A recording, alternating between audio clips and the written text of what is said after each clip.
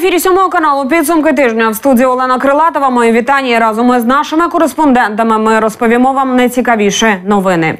Ця приголомшлива подія вразила всю країну. Закривавлений молодик із людською головою у руках та нутрощами на шиї гуляв біля свого будинку на проспекті Небесної Сотні. Коли його затримали, поліцейські виявилось у квартирі чоловіка лежать два понівечені трупи. Що кажуть експерти та сам підозрюваний у вбивстві? Дивіться у сюжеті Владислава Євжецьких. Що у вас знаходиться на шиї та що відбувалося взагалі? Можете пояснити, будь ласка? Ничего, все нормально. А що у вас знаходиться на шиї? Кишки. Чиї кишки? Цей чоловік з людською головою у руках та перемотаний нутрощами щойно розгулював проспектом Небесної Сотні. Як кажуть очевидці, був абсолютно спокійний. Ми наводимо пряму мову, але з огляду на резонансність події не можемо показати облич. разбивает вот так локтем, э, достает оранжевую куртку с черным капюшоном, разбивает локтем э, лобовое стекло машины. Вот. Какою? Вот серый, видите у подъезда? Ага. Серая машина. Он, короче, разбил стекло и зашел в парадную с головой. Э, Потом с- приехала полиция и, собственно, с пистолетами туда забежал. Обычный мужик в такой, в черной одежде, такой темненький. Затриманого звуть Дмитро орендував у будинку номер 41 квартиру разом з батьком та знайомим. Їхні понівечені тіла у кімнаті та на кухні і знайшли поліцейські. Сусіди у те, що відбулося, й досі повірити не можуть. Он как бы вообще был такой спокойный, спокойно ходил, спокойно, ничего такого особенного как бы в нем не было. Но вообще так соседи замечали, что немножко вроде как есть у него что-то как употребляющее наркотики. Мотиви моторошного вбивства поки невідомі. Як поліцейським повідомив сам затриманий, ні про що не жаліє.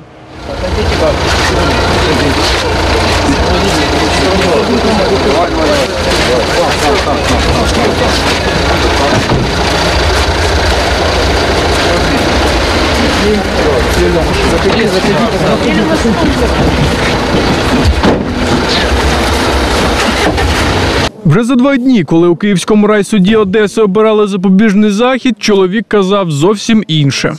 На деньги? Да, я раскаиваюсь в сидении. Вы говорили про Бога, там, Да, я был под влиянием всего, всего вокруг меня. э, наркотиков или событий. И событий, и всего-всего-всего вместе. А почему тогда вы так отреагировали? Ну вот, почему такой финал? Потому что я подумал, что я могу его оскорбить. Кого? Отца или Бога? Да, Отца? А чем оскорбить? Собой, своим присутствием, своим, своими действиями. И поэтому вы убили? Да, я возомнил себе, что я могу убить. Дмитро розповів судді, що одружений та має чотирирічного сина. Працював неофіційно. І хоча адвокат просив про домашній арешт, підозрюваний підтримав клопотання прокурора закрити його в слідчому ізоляторі. Пономаренко підтверджена е, матеріалами справи, які зібрані в ході е, досудового слідства. Це покази свідків, це огляд місця події, в ході якого були вилучені е, сліди з плямами крові бурого кольору. Вилучено ніж, який був знаряддям вбивства, який під час затримання Пономаренка перебував безпосередньо у його руках. За рішенням суду підозрюваний перебуватиме у СІЗО два місяці. Наразі проводять цілу низку експертиз, аби встановити його психічний стан, а також те, чи перебував він під дією наркотичних речовин. За словами психіатра, зростання кількості наркозалежних в Україні нагадує йому про далекі 90-ті. Але навіть тоді не було так багато доступних наркотиків, та ще й таких, що вражають психіку. Алкоголі, особливо ці нові наркотичні речовини е, з класу так званих психодизлептиків, вони е, настільки змінюють свідомість, що в той момент людина не усвідомлює ступінь близькості своєї до тої людини. Е, А якщо це вживання є постійним, то там взагалі втрачаються е, навіть ну, головні людські риси і е, головне наше ну, представлення про себе як про людину, як про соціальну істоту. Це подолати е, суто е, поліцейським шляхом, силовим шляхом неможливо. Ми розуміємо, що треба міняти суспільство. треба міняти е, багато чого в суспільстві. По всій країні зросла кількість злочинів, скоєних під впливом алкоголю та наркотиків. Політик Константин Василець пов'язує це з несприятливою соціальною ситуацією. Эта ситуация, которая сложилась, она имеет конкретно социально-экономическое происхождение. То есть э, такой э, бум э, криминогенной ситуации, преступлений раз, абсолютно разнообразнейшего характера, оно означает то, что государство очень четко перестало отвечать за своих собственных граждан. А что это означает? Означает то, что государство перестало в принципе каким образом гражданам и обществу давать какие-то перспективы завтрашнего дня, перспективы развития. А доки на державному рівні не почнуть приділяти належної уваги цій проблемі, можна очікувати, що подібні злочини траплятимуться і надалі. До слова, якщо провину затриманого доведуть, за подвійне вбивство йому може загрожувати від 10 до 15 років тюрми або довічне позбавлення волі. Владислав Євжецьких, Денис Ларко, Валентин Мірза, Костянтин Блужневський, сьомий канал. 15 років за ґратами проведе вбивця 11-річної Дарини Лук'яненка. Хоча родичі дівчинки просили довічного. Кривдник намагався зґвалтувати дитину. Вбив, а тіло сховав у вигрібній ямі. Нагадаю, аби знайти зниклу мешканку Іванівки у 2019 році розгорнули цілу пошукову операцію. Чому вбивця отримав такий термін? Дивіться у сюжеті. Розгляд цього резонансного вбивства тривав з 2019 року. І врешті це засідання ставить крапку у справі. Вирок оголошують Миколі Тарасову, якого звинувачують у спробі зґвалтування та жорстокому вбивстві дівчинки. Підсудний на камери заявляє про свою невинуватість та намагається порізати собі горло прямо у залі суду. Это в действительности не я убил. Сегодня я просто умру, вы понимаете это? Это просто мое слово, я поставлю точку. Не кто-то, а я поставлю точку.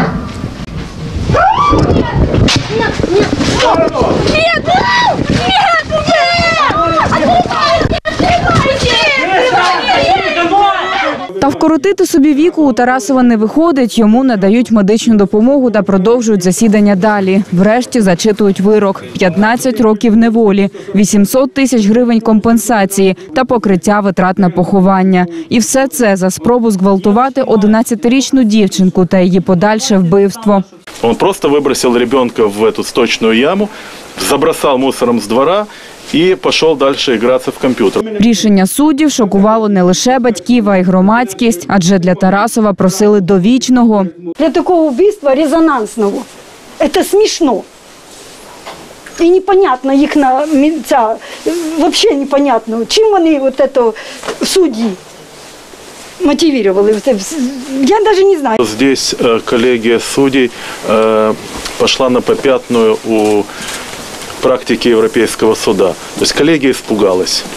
Э, справедливый приговор, именно справедливый, тот, к которому мы с вами привыкли, это пожизненное заключение. А коллегия пошла на попятную у Европейского суда, который, вы же знаете, вот в Европе начали очень как-то лояльно относиться к педофилам. Тарасов так і не отримав довічного, бо з юридичної точки зору скоїв злочин без обтяжливих обставин. Вони вважають, що довічне позбавлення волі без обтяжуючих обставин, тобто перебування в стані алкогольного сп'яніння, будь-які інші обставини, які б обтяжували вину обвинуваченого, яких по матеріалам кримінального провадження не встановлено, е, то вони вважають, що неможливо призначити довічне позбавлення волі.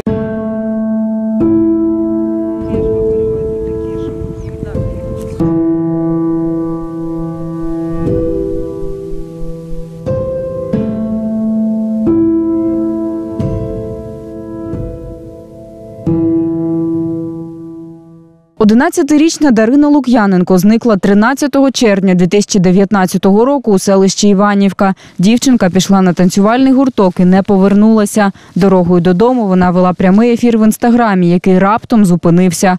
Дитина просто кудись зникла. Ніхто не бачив, що саме сталося. Місцеві чули лише крик.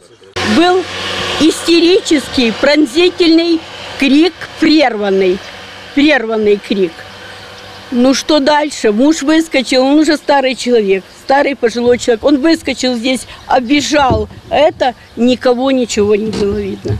Шукати дитину кинулися жителі села та волонтери. Дарина зникла саме біля будинку Тарасових, але тоді навіть ніхто не міг на них подумати. Родини все життя торгували на ринку поруч, але спілкувалися мало. Версій зникнення було чимало. Одна з них, що дитину просто вкрали. скамейка, на которой сидела Даша, там оставался зефир и сок, и я это видела. Для меня было странно, неужели девочка вот прям ее взяли, схватили, посадили в машину, потому что версия была изначально такая, что ребенка похитили. Но никто не мог подумать, что они, они это сделали. И я думаю, что семья Тарасовых, родители изначально были в курсе того, как это произошло. І сам Микола Тарасов і його батьки брали активну участь у пошуках. Спершу цим і відводили від себе підозру. Вони сразу почали это, участвовать в поисках чего-то, хоча вони безлюдні такі. У них ніхто вдома не буває, ні у кого вони не були. А тут такой же этаж у них.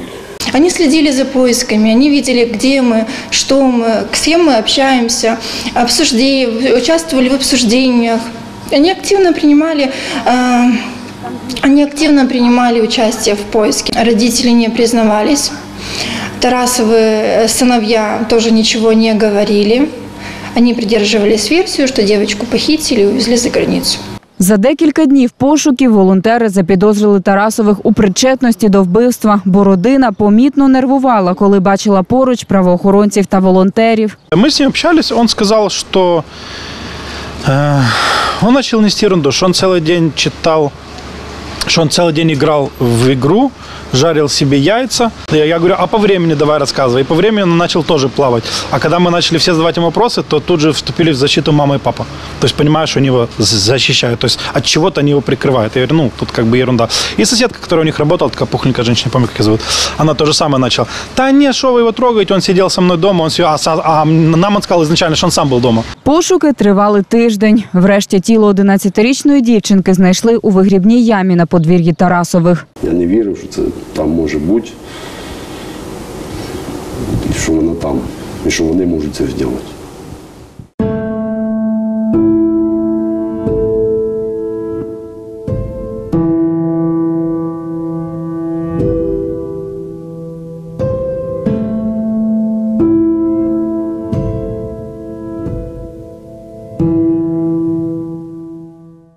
Хоча вирок вже ухвалили, у справі Дарини Лук'яненко досі купа невідомих. Зокрема, не всі вірять, що до злочину причетний лише Микола Тарасов. Якщо б вони маму і папу сюди привели, допрашували, там би був зовсім другий поворот. Вони б там би вияснили хорошо, чому то папи вдома не оказалось і мами. І поліція не сработала, не додумалася взяти їх і привезти. Він сам міг це зробити. Навіть якщо він сам зробив, йому помогли це все убрати.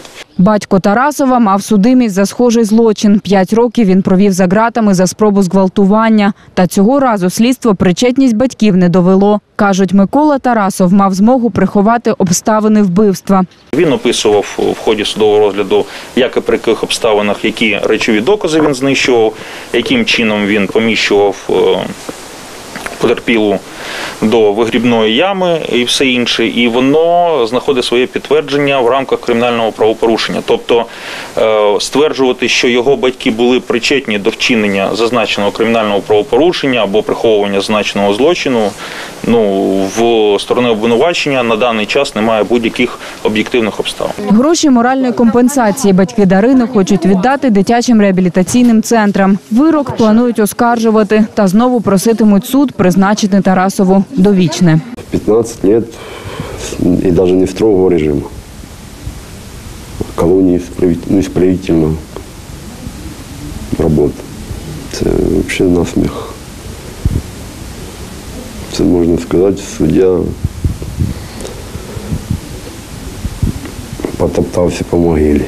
Ксенія Сітінська, Євген Руденко, Анастасія Кричко. Підсумки тижня. Сьомий канал. Густа Кіпцева охопила незаконний готель на посмітного 10 дріб 12 за лічені хвилини. Вогонь поширився на майже 2000 квадратних метрів.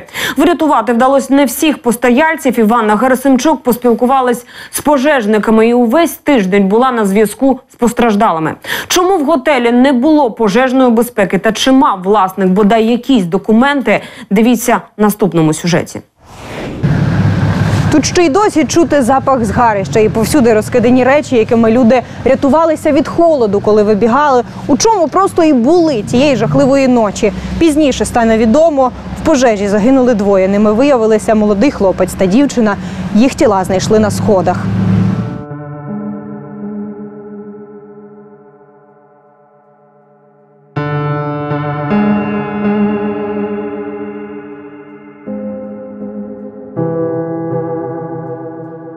Горіти почало ще близько восьмої години вечора. Постояльці рятувались як могли. Єдиний пожежний вихід заблокував вогонь.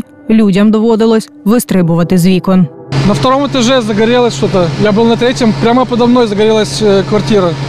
Я открыл окно, и это до- повалил черный густой дым. Буквально секунд 15 он заполнил всю, э, всю комнату. Невозможно было дышать, он заполнил легкие, его можно было только глотать, не выдохнуть, не вдохнуть.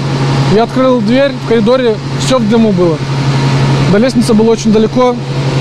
Я увидел, там было э, с- с- в конце коридора девочек пять, наверное, молодых. Они не могли выйти.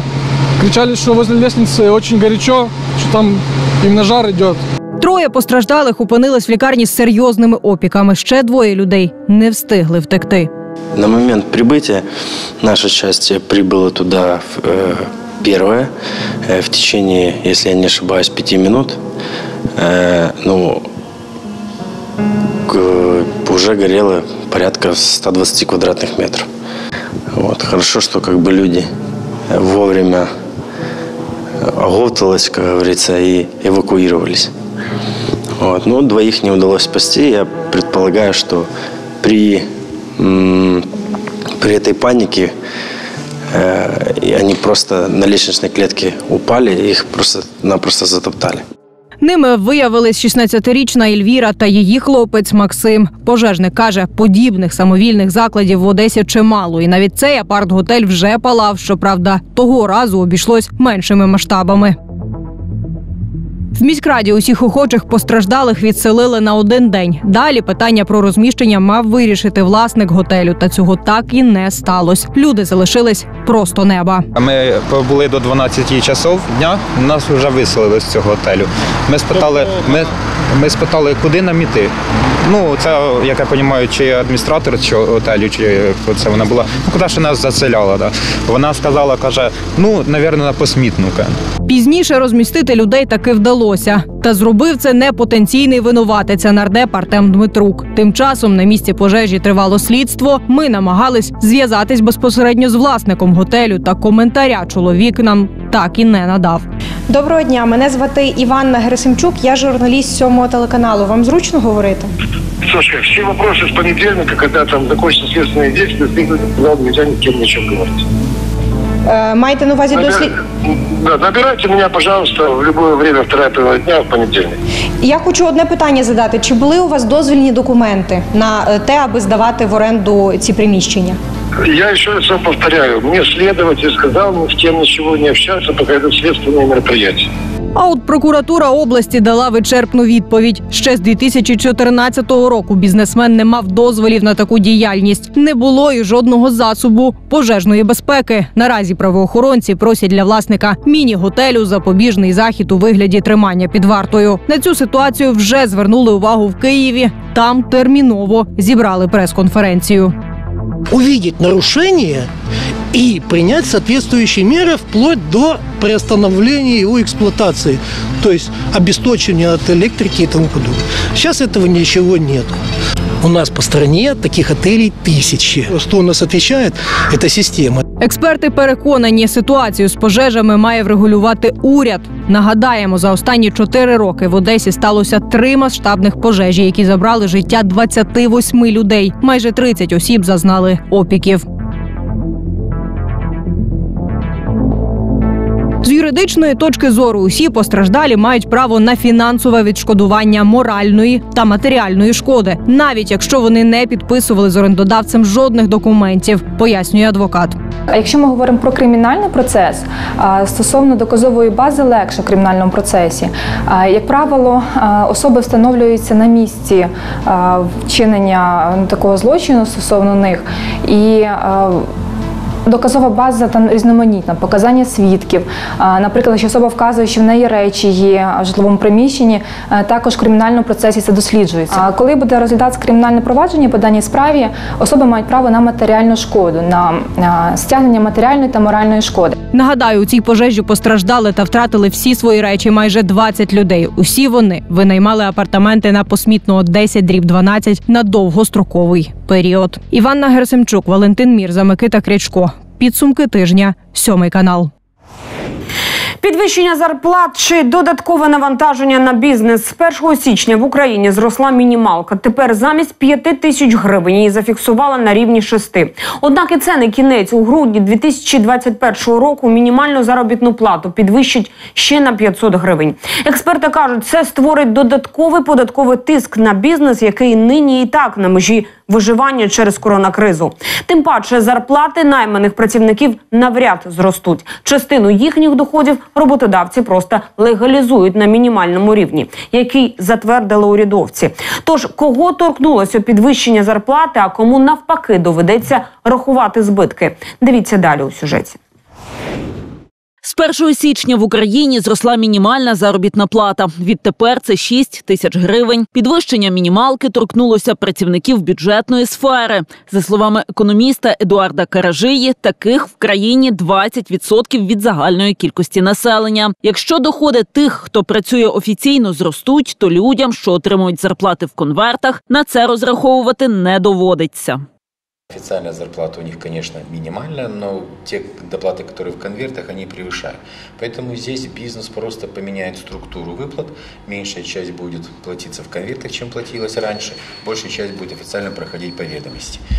Нагадаємо, перший етап підвищення мінімальної зарплати відбувся у вересні минулого року. Тоді з 4 тисяч 723 гривень мінімалка виросла до 5 тисяч. В урядових планах підвищити її рівень знову наприкінці року до 6,5 тисяч гривень. Однак доведеться десь шукати гроші. Економіст Михайло Борисов каже: або знову братимуть в борг, або ввімкнуть друкарський верстат. Фахівець переконаний, наслідки не змусять на себе довго чекати. Почнуть зростати тарифи та ціни на продукти.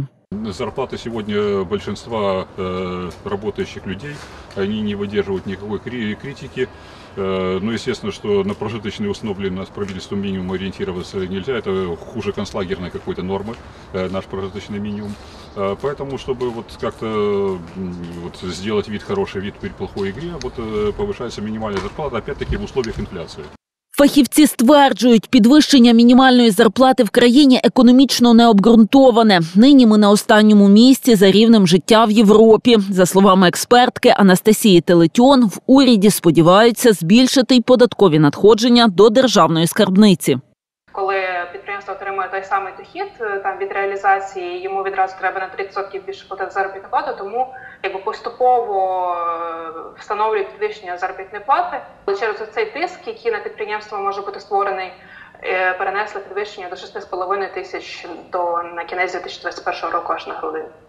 А ось у профільній асоціації підприємців б'ють на сполох, адже підвищення податків може стати останнім цвяхом у труну українського бізнесу, який потерпає від карантинних обмежень. Розмір мінімального єдиного соціального внеску становить 22% від рівня мінімальної зарплати. З 1 січня по 30 листопада поточного року його сума становитиме 1320 гривень. А вже з 1 по 31 грудня мінімальний розмір ЄСВ буде 1430 гривень. Зарплату сделали базой для налогообложения.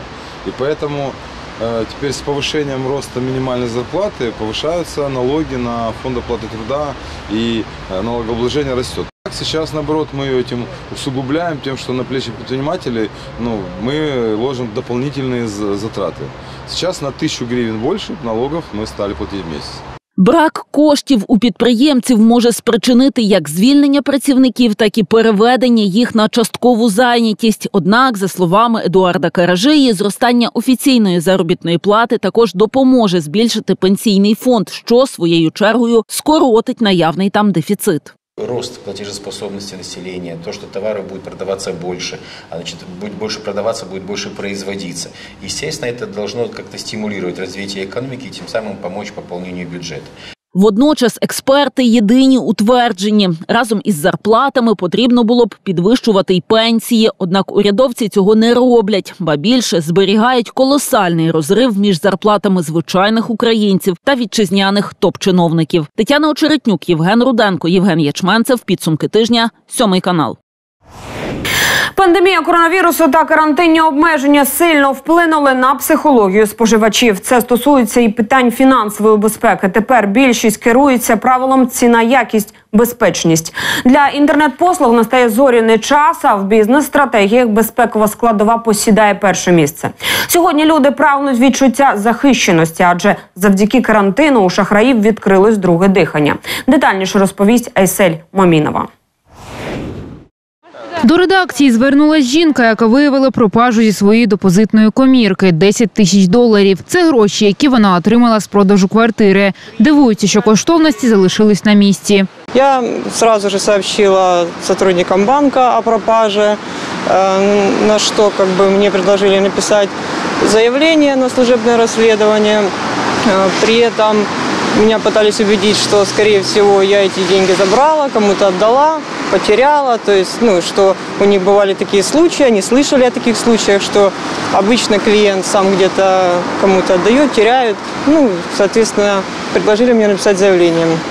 Я написала заявление на служебное расследование, э, вызвала полицию. Подібні випадки зазвичай не закінчуються відшкодуванням збитків або моральною компенсацією, адже для відкриття комірки потрібні двоє. Сотрудник э, банка берет один ключ, вставляет э, в ячейку, а клиент с- вставляет свой ключ. Таким образом, то есть, э, чтобы открыть ячейку, необходимо два ключа. А, В ячейке обычно находится шкатулка, в которой уже и находятся ценные ве- ве- вещи. Клиент берет эту шкатулку, а, уходит в отдельную комнату, в которой нет даже видеонаблюдения. Ми вирішили навідатись у банк, щоб дізнатись напряму на якому етапі розслідування. Так, я розумію, я знаю цю ситуацію. Да, Клієнт звертався з відповідним з відповідною заявою до нас. І що произошло? Ми наразі ну проводиться служб- службове розслідування. А хто-нибудь відсматриває камери? Я наразі не можу розголошувати всі подробиці. Щодо ситуації, можемо коротко сказати е, хіба те, що умови надання послуги оренди індивідуальних банківських сейфів передбачають її повну конфіденційність. Тобто банк забезпечує зовнішню цілісність сейфу та охорону приміщення, але не знає, що клієнт зберігає в сейфі та не несе відповідальності за вміст сейфу.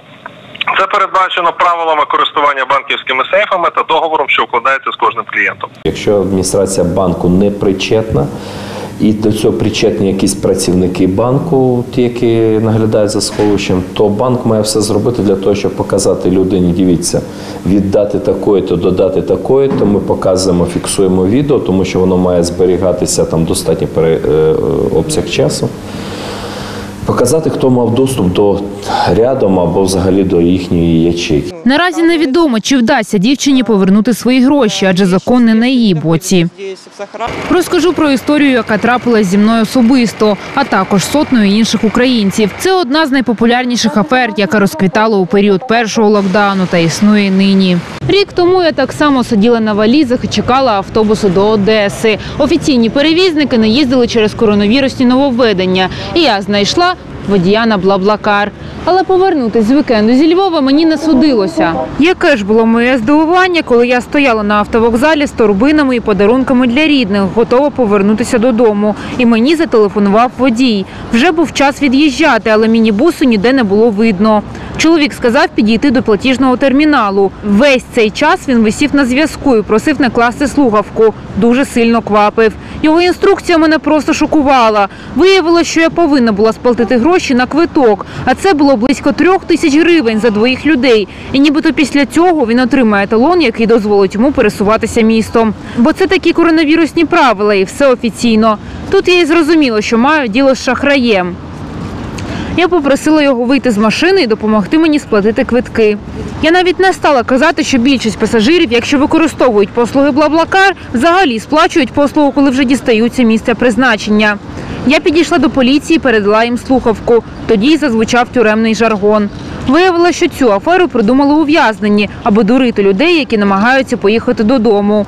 Фейкові маршрути по всій Україні, безліч потерпілих, особливо людей із-за кордону, які у той період були змушені терміново повернутися.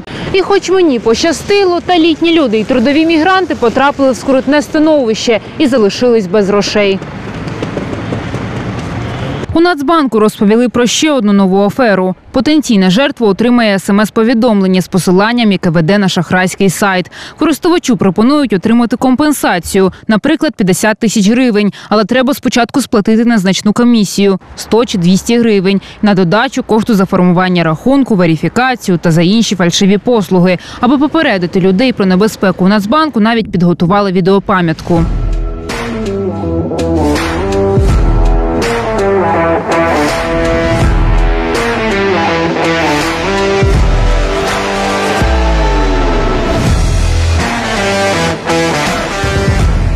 Ігноруйте дзвінки та смс із проханням кудись перезвонити або сплатити за отримання виграшу. Проводьте платежі в інтернеті тільки через авторитетні сайти та користуйтесь тільки послугами перевірених банків. Не ризикуйте сплачувати рахунки на незнайомих ресурсах з підозріло низькою комісією, адже це можуть бути сайти підробки. І, хоча повернути втрачені гроші не так просто, але обов'язково заявляйте про крадіжку до кіберполіції. І не забувайте попереджати інших інтернет-користувачів, залишаючи відгуки та дані шахраїв. Айсель Мамінова, Валентин Мірза, сьомий канал. Тривала боротьба з сумнівною перебудовою у підвалі пам'ятки архітектури. Ще з весни 2020 року жителі грецького 3133 намагаються завадити реставраторам. кажуть, їхній дім вже вкрився серйозними тріщинами та бояться можливого обвалення. Подробиці в сюжеті моєї колеги Мішель Арманд. Здесь огромная дырка, просто огромная. Есть полиция. И дальше что? Полиция будем понимать. Хорошо, иди за полицией. Иди за полицией. Она вас принимала. Это мой дом, я здесь живу. Я хочу посмотреть, что за дырка там вырыта. Я вам объясняю. Не надо мне объяснять, я хочу посмотреть, я здесь живу, в этом доме. Это мой Я дом. тебе еще раз объясняю. Ты не понимаешь?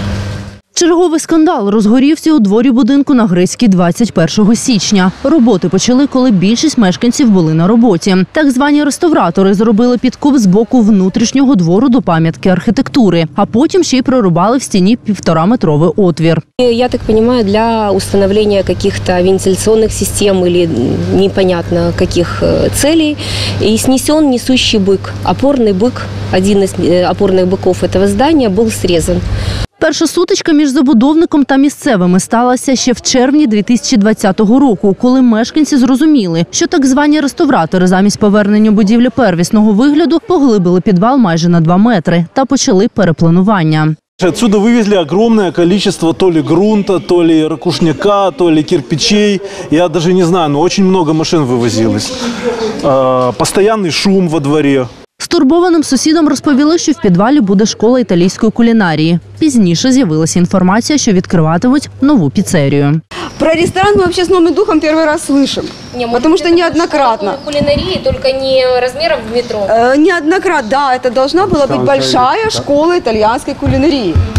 Э, Сколько раз я спрашивала, будет ли там ресторан, мне всегда говорили нет. Тоді місцеві жителі написали кілька заяв поліцію та навіть звернення президенту. Після цього фасад будинку ніхто не чіпав. Всі роботи проводили у підвалі, доки не виникла необхідність провести в приміщення вентиляцію. Разрешения ГАСКа у них также нет. ГАСК заявил, что они не давали никакого разрешения ни на, про- на производство никаких строительных или вентиляционных работ.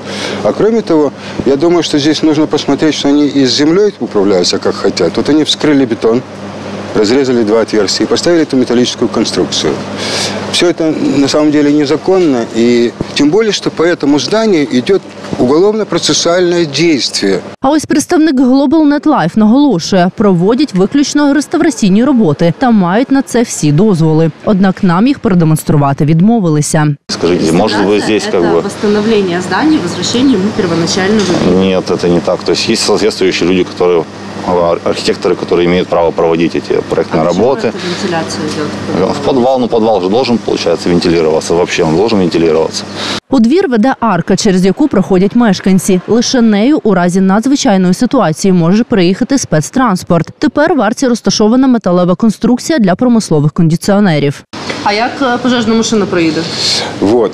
В этом-то и фокус, что по пожарным правилам минимальная высота, по которой должен проехать автомобиль пожарников, 3 метра 25 сантиметров.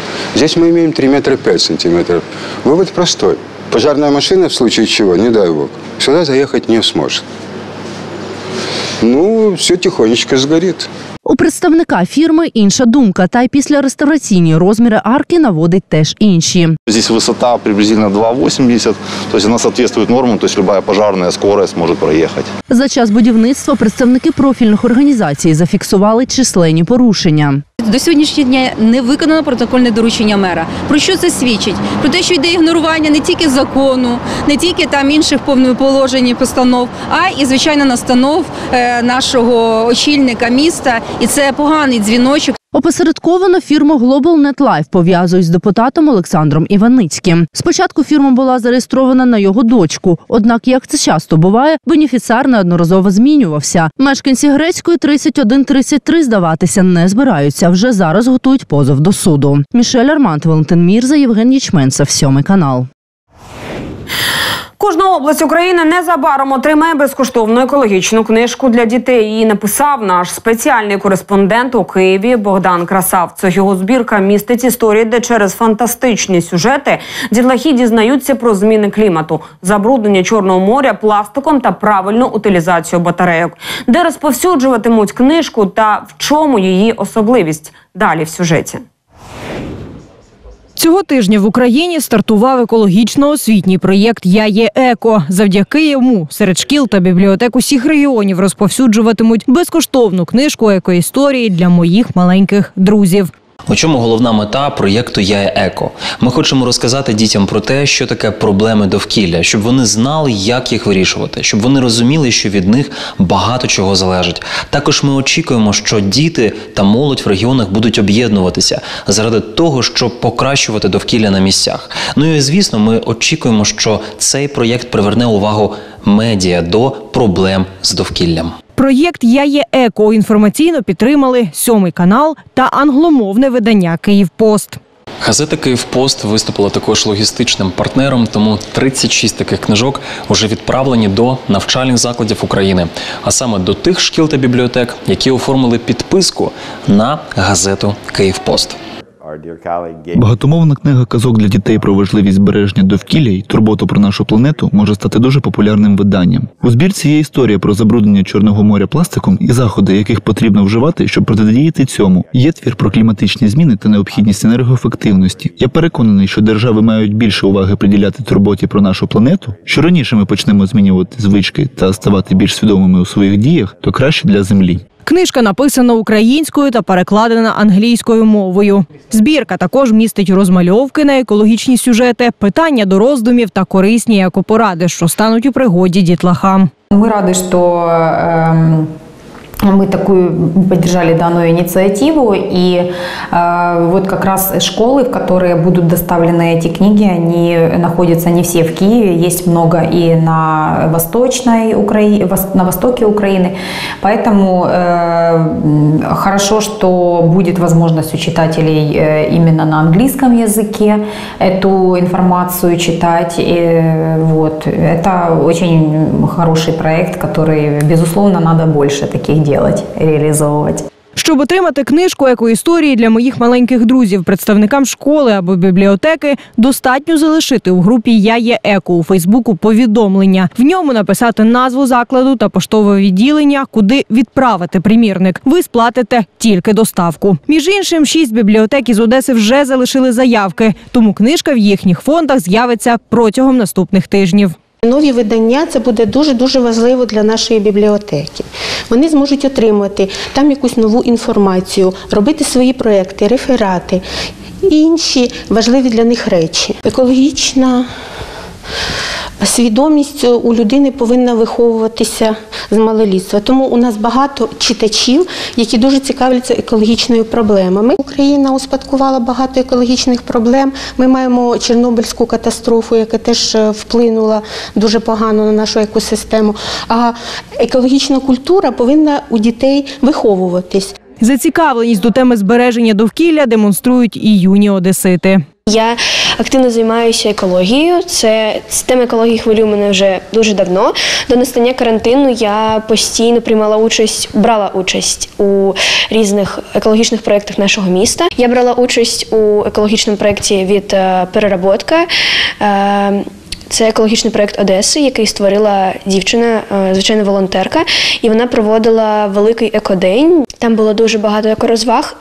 Там можна було дізнатися багато нової цікавої інформації. Проєкт Я є еко підтримало і Державне агентство з енергоефективності та енергозбереження, адже одна з казок присвячена енергоощадному мисленню. У відомстві вважають, завдяки таким ініціативам зелений перехід в Україні прискориться. Нині ж для того, щоб виробити одиницю ВВП, ми витрачаємо в півтора-два рази більше енергоресурсів ніж розвинені країни світу. Економіка України надзвичайно має високу енергоємність над декарбонізацією нашої економіки, а це значить і над зеленим переходом. Третину споживає населення, третину промисловість і е, інше це бюджетний сектор, плюс е, інші споживачі. Е, Тому в кожному секторі. Секторі Україна має величезний потенціал для енергозбереження для підвищення енергоефективності. У книжці екоісторії для моїх маленьких друзів вісім казок. Тут є твір про необхідність збереження дерев та відмову від використання фосфатних мийних засобів. Є казка про добре ставлення до тварин та дбайливий збір ягід у лісах. Збірка розрахована на дітей 6-10 років. З огляду на невеликий наклад в тисячу примірників та великий попит у лютому книжку екоісторії для моїх маленьких друзів опублікують в інтернеті для безкоштовного перегляду. Іванна Герасимчук, Богдан Красавцев, Андрій Ярковий. Підсумки тижня, сьомий канал. Це вся інформація, яку підготували наші кореспонденти. Ми надалі будемо стежити за усіма подіями в Одесі та області. Це наше місто і ваш сьомий телеканал. Залишайтесь з нами неодмінно. Побачимось.